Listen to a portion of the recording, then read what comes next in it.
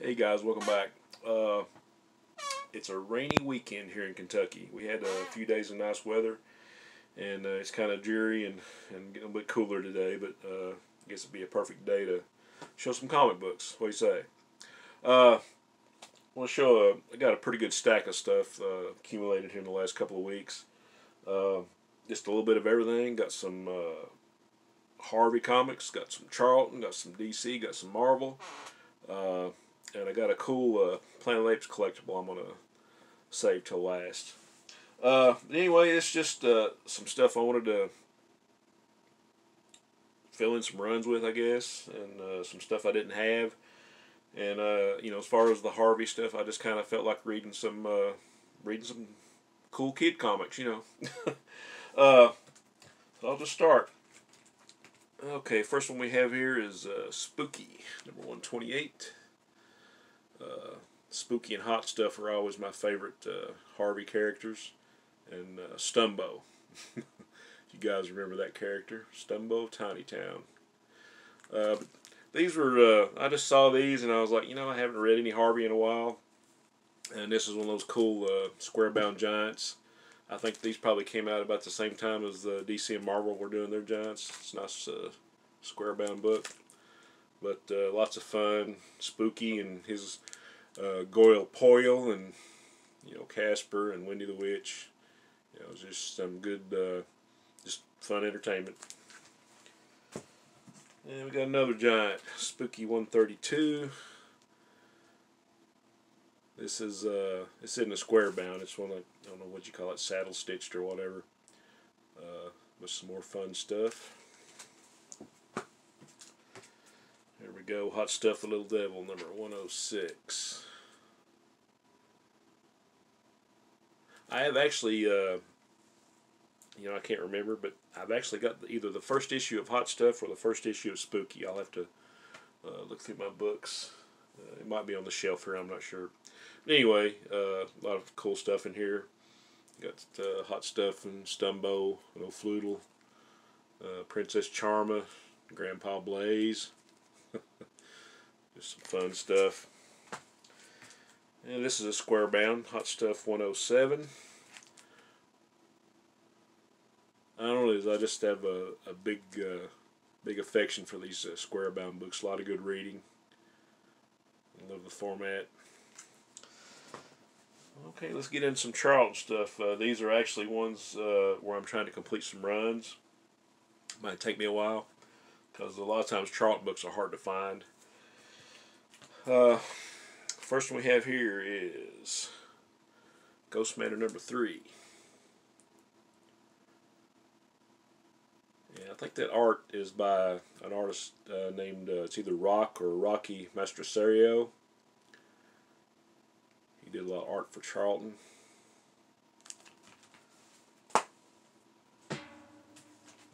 Here we have Ghost Manor number four. Got some Sanho Kim art on the front.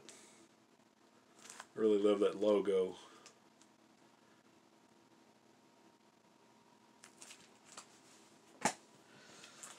And we have Haunted, or as it was uh, known later, Baron Werewolf's Haunted Library. It's number 28. It's a Mike Zeck cover.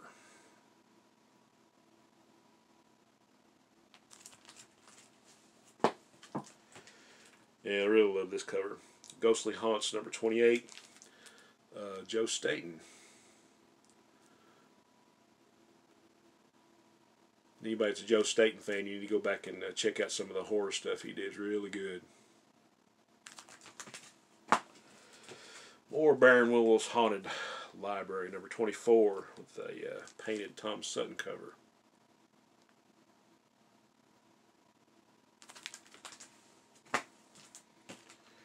You can't have Charlton Horror without having Steve Ditko, right? Ghostly Haunts, number 34. Another nice cover. And more Steve Ditko, Beyond the Grave, number six. I guess this title didn't last too long. I think at one time uh, Charlton probably had just as many or more uh, horror titles on the stands as DC and Marvel. And speaking of DC, uh, these next two were kind of uh, inspired by my good friend Eric Kay. I think he had this first one. I didn't even know there there were Sergeant Rock annuals, and I should have known, but I didn't. And uh, he showed me that he had just uh, recently got one of these, so I said, "Well, I've got to have that one just for the cover." Uh, so Sergeant Rock annual number two. Some Joe Kubert greatness there. You cannot have enough Joe Kubert. And here's uh, Sergeant Rock Annual number four from 1984. Doesn't get any better than that.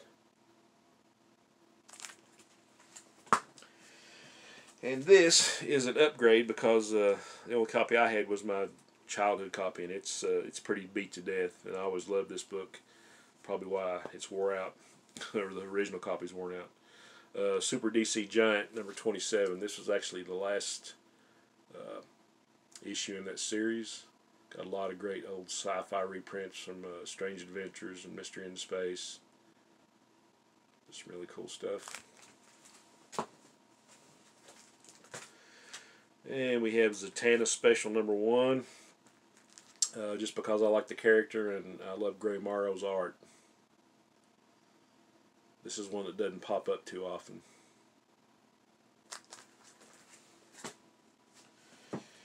And we have uh, World's Finest number 220. This is the only uh, 20 center that I needed for my World's Finest run. Some classic uh, Superman, Batman in the Bronze Age. This is a really good story. And you got a Metamorpho backup feature. I think it's a, uh, yeah, it's a Nick Cardy cover. And this is another one that I needed for a, I guess what you call my Bronze Age run of the World's Finest. This is uh, number 236. I think that's probably an Ernie Chan cover. I guess starring the Atom.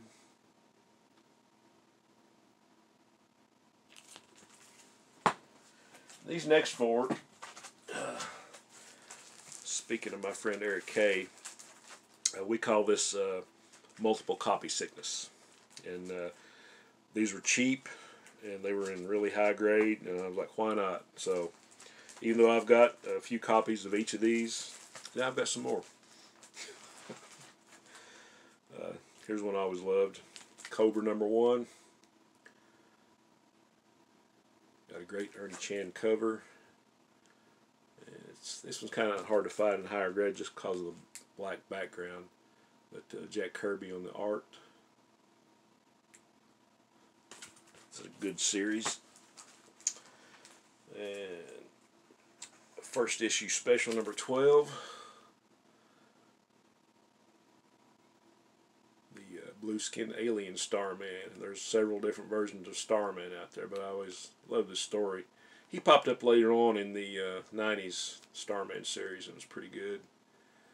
Uh, got a great Joe Kubert cover and got uh, Mike Vosburg on the art on the inside, and I really liked uh, Mike Vosburg's art.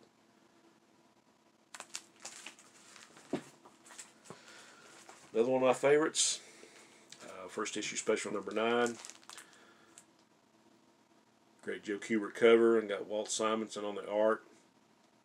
I'm uh, I'm kind of thinking this is probably going to be like a what I call a sleeper book because uh, now that we know uh, Doctor Fate is going to be in the Black Adam movie, this is probably going to get a little traction. I'm not sure, but I got it for like 250 so I was happy to have another Kubert cover in the collection.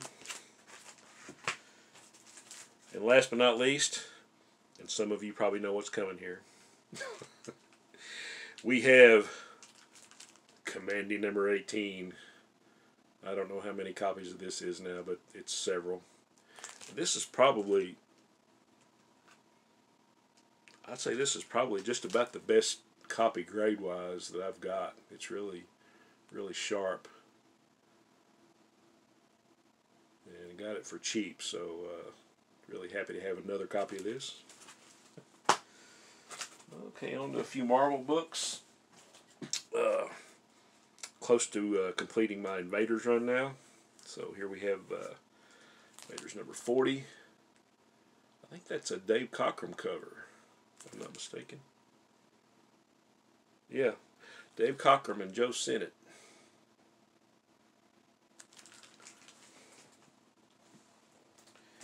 Invaders 41. Uh, this is the last issue.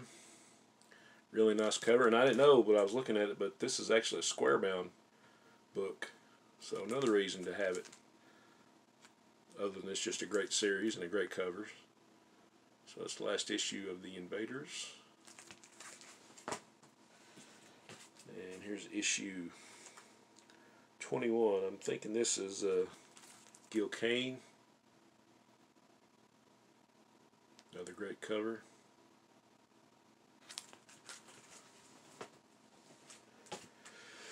And number 38. So this just leaves me one issue shy of having uh, my Invaders uncompleted.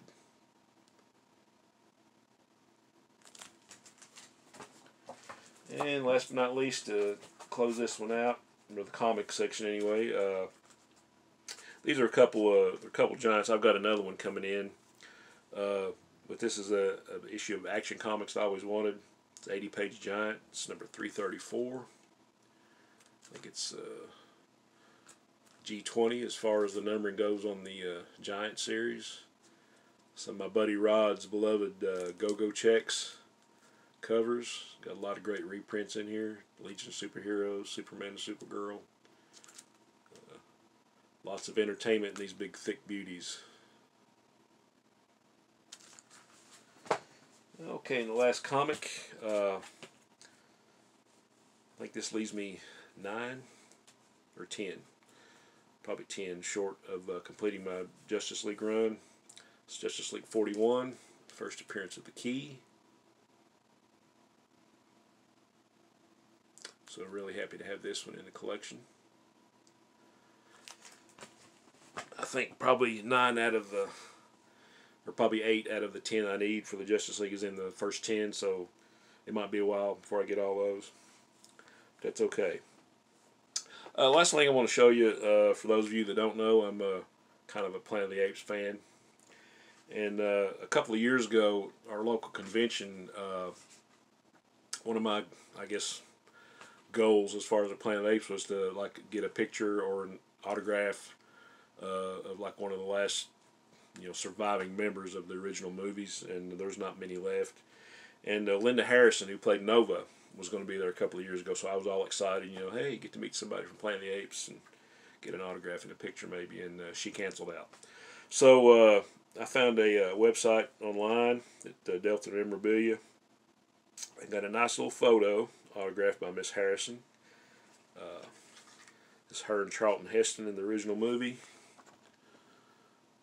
Can see her signature there and uh, putting Nova underneath it. So nice little uh, piece of memorabilia for my Planet of the Apes shelf. And here we have the uh, certificate of authenticity. So I know it's authentic.